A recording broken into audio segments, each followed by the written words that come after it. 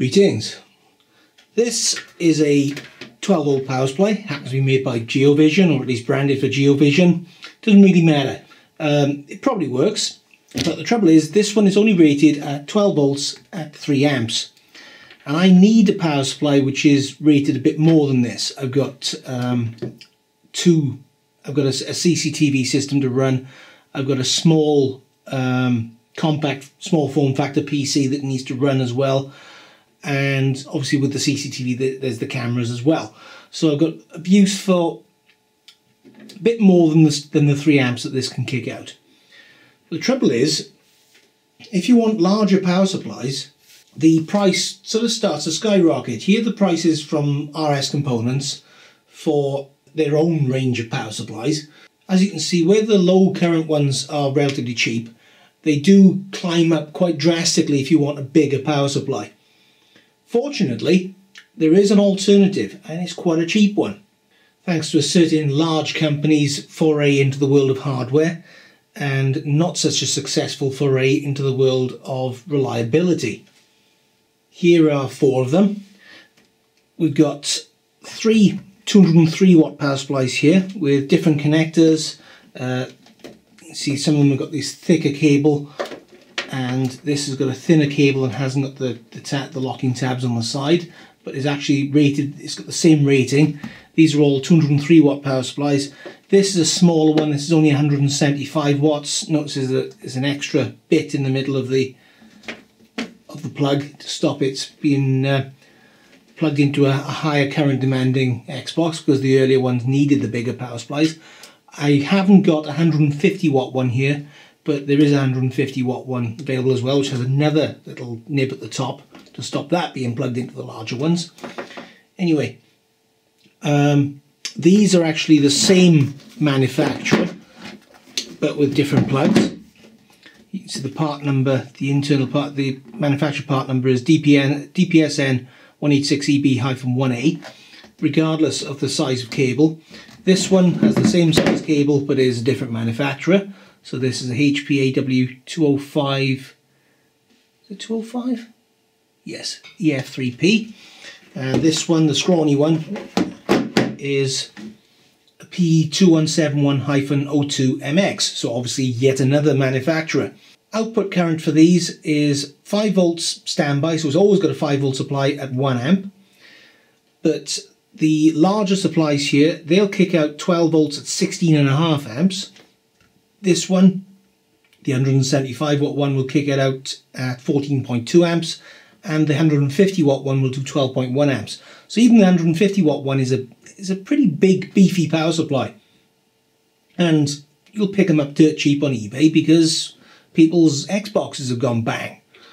So we'll ignore these and take a look at this one.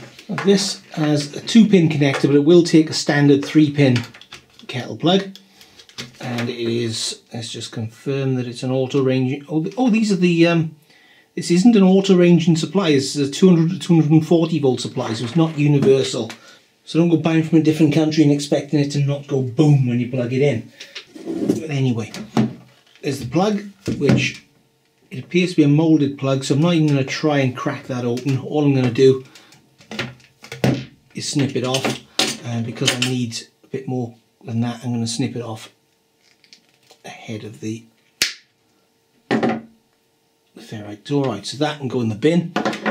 Let's take a look what we've got here. Surprise, surprise, a whole bunch of wires. These are coloured the same as you'd get in a PC. So you've got these ones here, the yellow ones are 12 volts. This one is 5 volts, obviously you've got ground here as well. And this is a power on wire which you connect, you can connect it with a switch or you can leave it permanently connected to the red and that will power up the, uh, the power supply for as long as that's connected. Now I want some fused outputs on here. So I'm going to put this to one side a sec. These are the fuse holders I'll be using. I think I scavenged these out of small light fittings. They've got uh, a neutral bar through there. There's an earth bar along the middle which also connects through. If you've got a mounting bolt, it goes into the bottom there. And the live one has a fuse holder. And in this case, they're designed to take standard UK mains plug fuses, the BS1362s. If you don't live in the UK, normally you will find these inside a mains plug in between the live pin and the live terminal.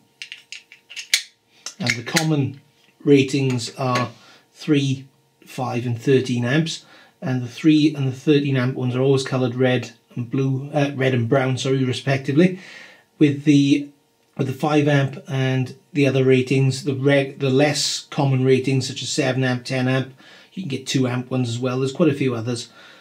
And uh, those are those are usually coloured black. And they're a similar size, these are uh, quarter inch by 1 inch and this by comparison is a quarter inch by 1 and a quarter inch cartridge fuse. So they're similar, they're just slightly shorter. Anyway, I'll be using these so let's fit them. Here we go, we've got them loosely fanned out. It doesn't matter which yellow wires go where because they're all connected together internally in the power supply. Same goes for the black ones, so I've just split them off.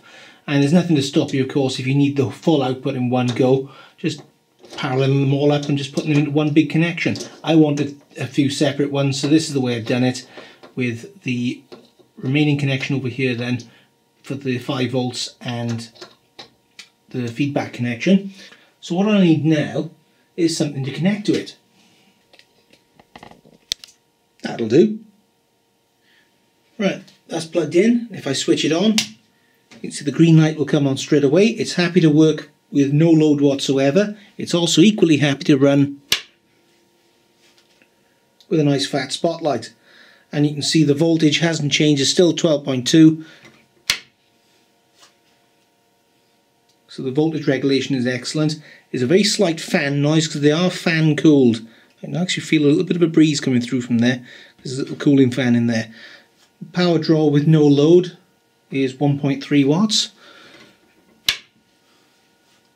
I think that's a 100 watt lamp, but 100 watts at about, it's probably 100 watts rated at 13.8 volts. We're at 12.2, you can see it's coming in at around about 90. So I'm happy with that. It means I can get rid of the PC that's currently running just as a CCTV power supply and replace it with, with this instead. Hope someone finds this useful. Obviously these are quite cheap on eBay as long as you buy the proper branded Microsoft ones. Don't go buying some uh, El Cheapo aftermarket one because, well, you don't want your house burning down, do you? Um, hope someone finds this useful. Thanks for watching.